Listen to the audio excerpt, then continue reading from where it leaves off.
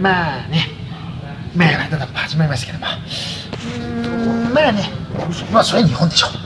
日本に、ね、優勝してもらえるってね、まあ言ってますけども、まあ冗談さておいてね、まあ、まあ、ブラジルじゃないですか。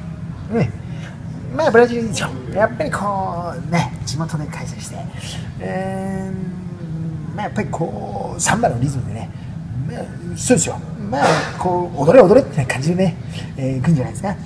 まあ、やっぱりこう、対抗していくのはね、えまあ、前回優勝スペイン、えー、まあ、こっちもね、あのブラジルと近いんじゃないですか、これ、距離。ね、距離結構近いですよね。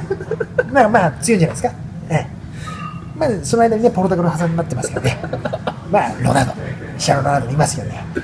まあ、やっぱりこう、スペインもね、あのまあ無敵無敵艦隊なんでね、えーまあ、やられても、ね PK がないとね、どこで PK が来るかですね。えーまあ、これレッドカードじゃないかって、えーそんな感じだと思いますね。えーまあ、一番期待してるのはやっぱり、やっぱり日本ですよ。えーていうかね、なでしこでしょ。